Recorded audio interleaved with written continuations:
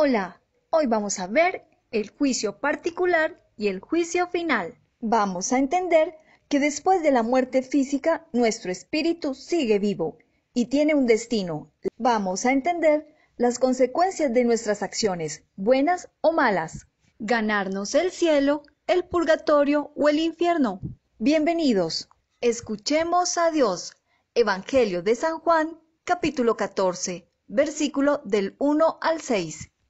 Todos queremos ir al cielo y habitar la morada que nos tiene preparada nuestro Señor Jesús. Pero no corramos tan rápido. Antes tenemos que presentarnos cara a cara ante Dios para nuestro juicio particular. Al morir, nuestra alma se separa de nuestro cuerpo y se presenta ante Dios para recibir, de acuerdo con lo que nosotros mismos hayamos elegido en la vida terrena, la recompensa o el castigo eterno tendremos el juicio particular, porque todos tendremos que comparecer ante el tribunal de Cristo para recibir cada cual por lo que haya hecho mientras tenía este cuerpo, sea el bien o el mal.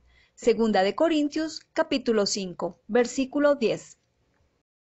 Nos encontraremos cara a cara con Jesús y ante nuestra propia vida, como un libro grande, gigante, donde están anotados todos nuestros actos, palabras, pensamientos y omisiones, todo quedará al descubierto. Suena dramático, pero es real. Si nos encontramos en gracia de Dios, nuestra eternidad feliz empezará en ese momento. Si morimos en una actitud de rechazo total y voluntario a Dios, o sea, en pecado mortal, entonces empezará para nosotros el castigo eterno, el infierno. El destino del alma será diferente para cada uno de nosotros, de acuerdo a cómo hayamos utilizado nuestro tiempo de vida en la tierra. El juicio particular, como su nombre lo dice, será para cada uno de nosotros en lo personal. En este, Dios nos preguntará, ¿cuánto amaste? Y cada uno de nosotros tendrá que responder a esta pregunta. Dios espera que cada uno de nuestros actos sea hecho por amor. Después del juicio particular, los que mueren en la gracia y la amistad de Dios y están perfectamente purificados, van al cielo. La felicidad del cielo es incomprensible, es aquello con lo que Dios desea premiarnos. Dios, que es admirable en todas sus obras, lo será también cuando recompense al buen cristiano. En el cielo estamos en una eternidad feliz al lado de la Santísima Trinidad de Mamita María y de todos los ángeles y santos del cielo. Él dará vida eterna a los que perseverando en las buenas obras buscan la gloria, el honor y la inmortalidad. Romanos capítulo 2 versículo 7. Dios nos ama mucho y ha hecho todo para salvarnos. Hasta nos envió a su Hijo Jesucristo para redimirnos con su vida, muerte y resurrección. Jesús nos enseñó que Él es el camino, la verdad y la vida, y vino a enseñarnos también la vía más fácil para llegar a Dios. Nos dejó la Santa Iglesia Católica. Por medio de la Santa Iglesia Católica, Jesús nos dejó las ayudas para ir al cielo. De la Santa Iglesia Católica nos enseña la palabra de Dios, nos enseña a comunicarnos con Él por medio de la oración. Nos dejó los sacramentos, uno de ellos, la confesión, es muy importante para nuestra salvación, porque como siempre pecamos, por medio de este sacramento, Dios nos vuelve a purificar el alma para que quede así blanquita como cuando nacimos. Y si morimos así con el alma blanquita, iremos al cielo. El sacramento de sacramentos es la Eucaristía, donde Jesús se queda a habitar entre nosotros su cuerpo, sangre, alma y divinidad, hecho pequeño para que nosotros lo podamos tomar y lo guardemos en nuestro corazón. Al recibirlo en la comunión, nos hace partícipe del cielo aquí en la tierra. Por medio de la Eucaristía, Jesús habita en el interior del hombre y así nos vamos cristificando. Cada vez nos volvemos un poquito más de Cristo. Lo podemos visitar también en el sagrario para adorarlo, para pedirle todo lo que necesitemos. Especialmente le podemos pedir por nuestra salvación. Cristo nos dejó las bienaventuranzas. Jesús sin decírnoslo explícitamente, nos hizo un retrato de la persona santa.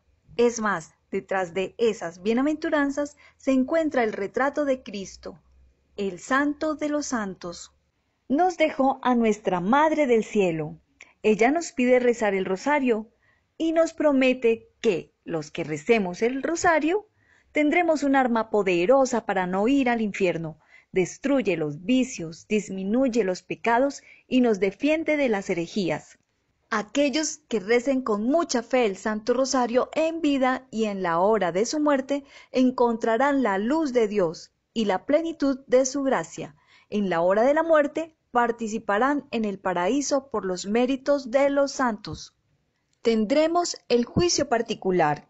El juicio personal es tremendo, es la iluminación de la conciencia, Vamos a ver el pecado como Dios lo ve y a sentirlo como Dios lo siente. Sentimos un dolor inmenso al ver nuestra alma sucia, maloliente por el pecado. Es por eso que aunque nos hayamos salvado, nos toca pasar por el purgatorio. En la Biblia no encontramos la palabra purgatorio, pero sí encontramos que hay un lugar intermedio donde van a purificar las almas podemos encontrarlo en el Evangelio de San Mateo, capítulo 5, versículo 25 al 26. Trata de llegar a un acuerdo con tu adversario mientras van todavía de camino al juicio, o prefieres que te entregue al juez y el juez a los guardias, que te encerrarán en la cárcel. En verdad te digo, no saldrás de allí hasta que hayas pagado hasta el último centavo. Palabra del Señor. Gloria a ti, Señor Jesús. Allí, por haber ofendido a Dios, sentiremos un profundo dolor, pero con la esperanza de subir algún día al cielo. Aunque se padecen grandes sufrimientos, podemos sentir el amor de Dios. A las almas benditas del purgatorio se les puede ayudar a salir de ese lugar con oraciones y ofreciendo la Eucaristía. Y así cada vez las almas se van poniendo más bonitas y cuando ya estén bien blanquitas y luminosas, Jesús se las llevará al cielo. Al infierno van los que mueren en pecado mortal y en enemistad con Dios, habiendo perdido la gracia santificante por un acto personal, es decir, inteligente, libre y voluntaria. En otras palabras, él mismo escoge irse al infierno. El infierno es muy espantoso, donde no se percibe el amor de Dios. Nadie puede ni siquiera imaginarse lo horrible que es, ni imaginar los sufrimientos sin límites. Jesucristo habla del infierno muchísimas veces en el Evangelio y expresa claramente su carácter de castigo doloroso y eterno. Jesús sabía lo terrible que es el infierno y por eso vino al mundo a liberarnos de ese castigo y enseñarnos el camino para llegar al cielo. Es el sufrimiento eterno y ya no hay nada que hacer para revertir el castigo. Dios no nos condena, pero respeta nuestra libertad. Dios cuando nos crea, nos crea para que nos salvemos. Puso dentro de nosotros unas leyes que debemos respetar y nos mandó a su Hijo para enseñarnos cómo respetarlas pero no puede hacer nada si nosotros no queremos colaborar. Pero el hombre que voluntariamente peca, voluntariamente se condena. Entre los condenados se encuentran personas que se vuelven cada vez más abominables, orgullosas, envidiosas, egoístas, criticonas, sarcásticas, sádicas, degeneradas, y con malos sentimientos, envidiosos, celosos y sobre todo llenos de odio aunque esas almas se sientan atraídas hacia el amor de Dios, sabe que nunca llegarán a Él. Jesús, por medio de la parábola del rico y Lázaro, nos enseña la existencia del cielo y del infierno. Evangelio de San Lucas, capítulo 16, versículos del 19 al 26. Había un hombre rico que vestía de púrpura y lino y todos los días hacía espléndidos banquetes. Echado a la puerta del rico había un pobre cubierto de llagas, llamado Lázaro, que ansiaba saciarse de lo que caía de la mesa del rico, y hasta los perros iban a lamerle sus heridas. Murió el pobre y los ángeles lo llevaron junto a Abraham. Murió también el rico y lo sepultaron. Estando en el lugar de los muertos, en medio de tormentos, alzó la vista y divisó a Abraham y a Lázaro a su lado.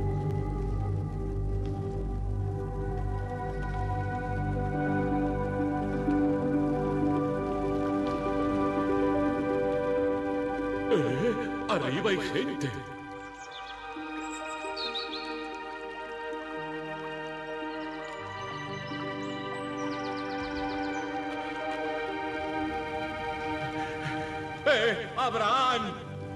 Abraham!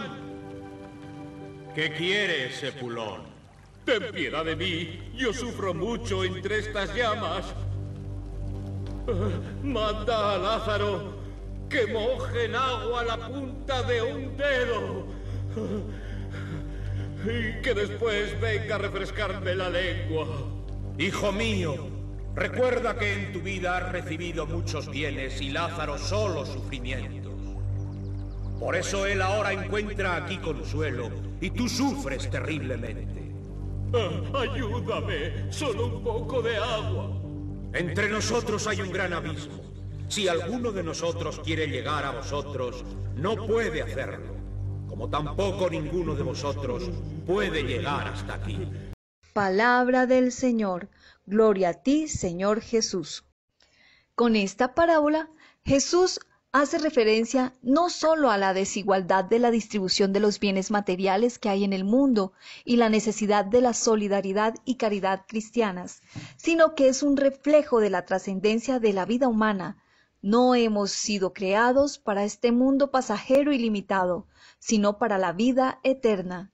El que se apega a las cosas materiales como el rico Epulón, se verá despojado de todo tras la muerte, pues lo único que ha acumulado en vida, las riquezas, también perecerán. Sin embargo, lo que propone Jesús con esta parábola es vivir en este mundo con los ojos puestos en el cielo, nuestra verdadera patria y nuestro verdadero fin. El juicio final. El juicio final lo tendremos al final de los tiempos, cuando Jesús vuelva a venir glorioso a la tierra. En él todos los hombres seremos juzgados de acuerdo a nuestra fe y a nuestras obras. Cuando el Hijo del Hombre llegue con majestad acompañado de todos sus ángeles, se sentará en su trono de gloria. Del Evangelio de San Mateo, capítulo 25, versículo 31 y 32. Y todas las naciones serán reunidas en su presencia. Frente a Cristo se conocerá la verdad de la relación de cada hombre con Dios. El juicio final revelará que la justicia de Dios triunfa sobre todas las injusticias cometidas por sus criaturas y que su amor es más fuerte que la muerte. En este juicio final, los juicios particulares serán confirmados. El juicio final será para los buenos y para los malos. Para los buenos significa gracia y salvación. Para los pecadores significa condenación eterna. Algunas personas piensan que no hay que preocuparse por eso de los juicios, pues creen que Dios va a salvar a todos los hombres al final de los tiempos porque es infinitamente bueno y nos ama. No necesito dejar de pecar, Dios me salvará de todas formas. Es verdad que Dios es muy bueno, pero también es muy justo y respeta nuestra libertad. Cuando nosotros estamos en pecado mortal, libremente le hemos dicho a Dios que no, que no nos interesa la salvación. Si morimos en este pecado, Dios respetará nuestra decisión y el hombre con su libertad alcanza la recompensa o el castigo eterno. Ya sabemos que Jesús es nuestra salvación, es nuestro camino. Ahora sí, corramos al cielo. Muchas gracias por su atención y nos vemos en el próximo video.